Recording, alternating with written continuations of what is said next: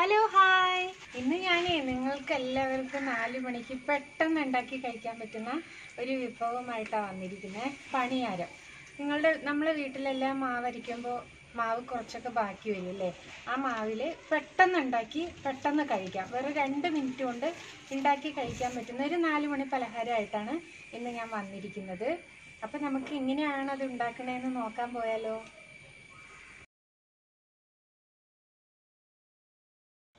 ഇപ്പം നമുക്ക് പണിയാരം ഉണ്ടാക്കാൻ എന്തൊക്കെയാണ് വേണ്ടതെന്ന് നോക്കാം. ഇത് ദോശമാവാണ്. ഞാനിവിടെ മാവ് അരിക്കുമ്പോൾ ഒരു ദിവസം ഇഡ്ഡലി ഉണ്ടാക്കും ഒരു ദിവസം ദോശ ഉണ്ടാക്കും. അപ്പം ആ ദോശയുടെ മാവാണിത് കേട്ടോ പണ്ട് ഞങ്ങളൊക്കെ സ്കൂളിൽ നിന്ന് സ്കൂളൊക്കെ വിട്ട് വരുമ്പോൾ ഞങ്ങൾക്ക് ഉണ്ടാക്കി തരുന്ന ഒരു പലഹാരമാണത്. നിങ്ങളെല്ലാവരും ഇത് ട്രൈ ചെയ്ത് നോക്കണം. ഇതിപ്പോൾ എനിക്കിവിടെ ഓൾറെഡി മാവ് ഉണ്ടായിരുന്നതാണ്. ഞാൻ എങ്ങനെ ഇഡ്ഡലി ഉണ്ടാക്കാൻ വേണ്ടിയിട്ട് അരി ഇടുന്നത് എന്നുള്ളത് നിങ്ങൾക്ക് ഒരു വീഡിയോയിൽ കാണിച്ചു തരാം കേട്ടോ പിന്നെ ഞാനിവിടെ എടുത്തിരിക്കുന്നത് സവാളയാണ്. സവാള ഒരു സവാള കൊത്തിയരിഞ്ഞ് വെച്ചിട്ടുണ്ട്. പിന്നെ പച്ചമുളക്. ഇപ്പം ഇത് രണ്ട് ടേബിൾ സ്പൂൺ പച്ചമുളക് ഉണ്ട് ഇവിടെ എരിവ് എനിക്ക് ഇത്തിരി വേണം. അതുകൊണ്ടാണ് ഞാൻ കുറച്ച് കൂടുതൽ എടുത്തിരിക്കുന്നത് പിന്നെ ഈ മുളകിന് എരിവ് കുറവുമാണ്. പിന്നെ ഇത് കറിവേപ്പില കൊത്തിയരിഞ്ഞ് വെച്ചിരിക്കണതാണത്.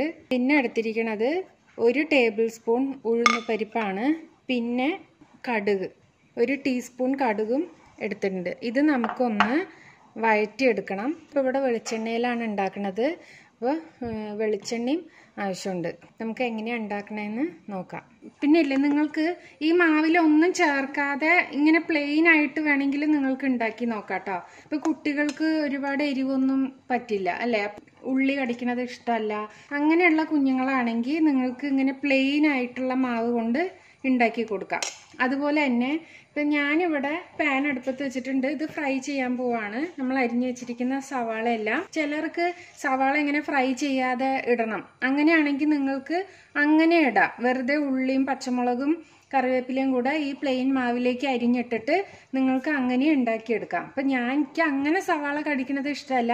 ഒന്ന് അങ്ങനെ വഴറ്റിയിട്ട് കടിക്കുമ്പോഴാണ് അതിന്റെ ടേസ്റ്റ് അതുകൊണ്ടാണ് ഞാനിവിടെ വഴറ്റി ചേർക്കുന്നത്. അപ്പം ഇത് മൂന്ന് രീതിയിൽ നിങ്ങൾക്ക് ചെയ്യാം. പക്ഷേ എനിക്ക് അങ്ങനെ മൂന്നെണ്ണം ചെയ്തതിൽ ഇങ്ങനെ ചെയ്താണ് എനിക്ക് ടേസ്റ്റി ആയിട്ട് തോന്നിയത്. അതുകൊണ്ട് ഞാൻ നിങ്ങൾക്ക് അത് പറഞ്ഞു തരാണ്. അപ്പം ഇതിവിടെ എന്റെ പാൻ ചൂടായിട്ടുണ്ട്. ഇതിലേക്ക് നമുക്ക് വെളിച്ചെണ്ണ ഒഴിച്ചു കൊടുക്കാം. ഞാനിവിടെ ഒരു ടീസ്പൂൺ വെളിച്ചെണ്ണ ഒഴിച്ചു കൊടുത്തിട്ടുണ്ട്. അതിലേക്ക് നമ്മൾ എടുത്തു വെച്ചിരിക്കുന്ന കടുക് ഇട്ട് കൊടുക്കാം. കടുക് പൊട്ടട്ടെ. നമ്മുടെ കടുകൊക്കെ പൊട്ടിയിട്ടുണ്ട്. തീ മീഡിയം തീയിലിടണം കേട്ടോ ഞാൻ. അതിലേക്ക് നമ്മൾ എടുത്തു വെച്ചിരിക്കുന്ന സവാള ഇല്ലേ? സവാളയും പച്ചമുളകും കറിവേപ്പിലയും ചേർത്ത് കൊടുക്കാം. നമ്മൾ എടുത്തു വെച്ചിരിക്കുന്ന ഉഴുന്ന് പരിപ്പില്ലേ അത് ഇടാൻ ഞാൻ മറന്നുപോയി. അപ്പം ഞാൻ കുറച്ച് എണ്ണ ഇവിടെ ഒഴിച്ചു കൊടുത്തിട്ടുണ്ട്. അതിലേക്ക് നമുക്ക് ഉഴുന്ന് കൊടുക്കുകയാണ് കേട്ടോ. നിങ്ങൾ കടുക് പൊട്ടി കഴിഞ്ഞാൽ ഉഴുന്ന് ഉഴുന്ന് പരിപ്പ് ഇടണേ. അപ്പം നമ്മുടെ ഉഴുന്ന് പരിപ്പൊക്കെ നല്ലോണം ചുമന്ന് വന്നിട്ടുണ്ട്. ഇനി നമുക്കിതെല്ലാം കൂടെ വഴറ്റി കൊടുക്കാം. നല്ല മണം വരുന്നുണ്ട്. സവാളയും പച്ചമുളകും കറിവേപ്പിലയും എല്ലാം ഒന്ന് മൂത്ത് വന്നിട്ടുണ്ട്. ഇത്ര ഒരു മീഡിയം മതി. ഒരുപാട് ഇങ്ങനെ ബ്രൗൺ കളറൊന്നും ആവേണ്ട ആവശ്യമില്ല. ഇതിലേക്ക് നമുക്ക് ഞാനിവിടെ കുറച്ച് ഒരു നുള്ള് കായം ചേർത്ത് കൊടുക്കുകയാണ് തീ ഓഫ് ചെയ്യുക ഇനി ഇത് നമുക്ക് നമ്മൾ എടുത്തു വെച്ചിരിക്കുന്ന മാവില്ലേ അതിലേക്ക് ചേർത്ത് കൊടുക്കാം. ഇനി നമുക്ക് ഈ മാവ് നല്ലോണം ഇളക്കി ഇങ്ങനെ യോജിപ്പിച്ചെടുക്കാം. ഇതിന്റെ ഈ സവാളയും ഇതെല്ലാം എല്ലാ സൈഡിലും ആവണം. ഉണ്ണിയപ്പത്തിന്റെ കാരോലാണിത് ഇതിലേക്ക് ഇത് ഇതിലാണ് നമ്മൾ പണിയാരം ഉണ്ടാക്കിയെടുക്കുന്നത് അപ്പോൾ ഇത് നോൺ സ്റ്റിക്ക് ആയതുകൊണ്ട് ഞാൻ ഒരു ടേബിൾ സ്പൂൺ എണ്ണയാണ് ഒഴിക്കുന്നത്. അപ്പോൾ നിങ്ങളുടെ കയ്യിൽ നോൺ സ്റ്റിക്ക് അല്ല വേറെ അലുമിനിയത്തിന്റെ ഇല്ലേ അതാണ് നിങ്ങളുടെ കയ്യിലെങ്കിൽ നിങ്ങൾക്ക് ഇത്തിരി കൂടെ കൂടുതൽ എണ്ണ ഒഴിച്ച് കൊടുക്കാം കേട്ടോ. അപ്പോൾ എന്റെ അടുത്ത് അലുമിനിയത്തിന്റെ ഉണ്ട്.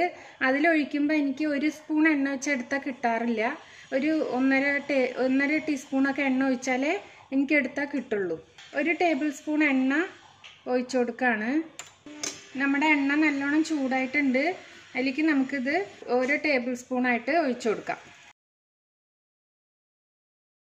പിന്നെ ഇത് ഒഴിക്കുമ്പോൾ കുഴി ഇങ്ങനെ ഒരു മുക്കാൽ ഭാഗമായിട്ട് ഒഴിച്ചാൽ മതി കേട്ടോ ഫുള്ളായിട്ട് ഒഴിക്കണ്ട. അപ്പോൾ ഇതിങ്ങനെ പൊങ്ങി പുറത്തോട്ടൊക്കെ വരും. ഇത് നമുക്ക് ഒരു രണ്ട് മിനിറ്റ് ഇങ്ങനെ വേവട്ടെ. എന്നിട്ട് നമുക്ക് മറിച്ചിടാം. അപ്പോൾ ഒരു രണ്ട് മിനിറ്റ് ആയിട്ടുണ്ട്. നമുക്കിനി തിരിച്ചിട്ട് കൊടുക്കാം. നല്ല മണമൊക്കെ വരുന്നുണ്ട്.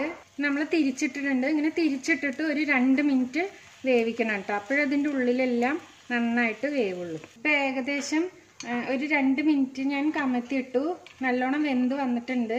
നമുക്ക് ഇനി ഒരു പ്ലേറ്റിലേക്ക് മാറ്റിയെടുക്കാം. കണ്ടോ? വളരെ സിമ്പിൾ അല്ലേ ഇത് ഉണ്ടാക്കാൻ എല്ലാവരും ഉണ്ടാക്കി നോക്കണേ. കുട്ടികൾക്കൊക്കെ വളരെ ഇഷ്ടപ്പെടും. ഞാനിതിവിടെ തേങ്ങ ചമ്മന്തിയുടെ കൂടെയാണ് കൊടുക്കണേ പിള്ളേർക്ക്. നമ്മൾ ആദ്യത്തെ വാങ്ങി ഇനി നമ്മൾ അടുത്തത് ഒഴിച്ചു കൊടുക്കുക അപ്പോഴും എണ്ണ ഒഴിച്ചു കൊടുക്കണം കേട്ടോ. ഞാൻ ഇവിടെ ഒഴിച്ചു കൊടുത്തിട്ടുണ്ട്. നമുക്കൊരു രണ്ട് മിനിറ്റ് വെയിറ്റ് ചെയ്യാം. അപ്പം നമുക്ക് നമ്മൾ രണ്ട് മിനിറ്റ് ആയിട്ടുണ്ട്. തിരിച്ചിട്ട് കൊടുക്കാം. അപ്പം നമ്മൾ തിരിച്ചിട്ടിട്ട് രണ്ട് മിനിറ്റ് ആയിട്ടുണ്ട്. ഇനി നമുക്കിത് പ്ലേറ്റിലേക്ക് മാറ്റാം. അങ്ങനെ ഞാനിത് ഇനി ഞാൻ എടുത്തു വെച്ചിരിക്കുന്ന മാവില്ലേ ഇത് മുഴുവൻ ഉണ്ടാക്കട്ടെ.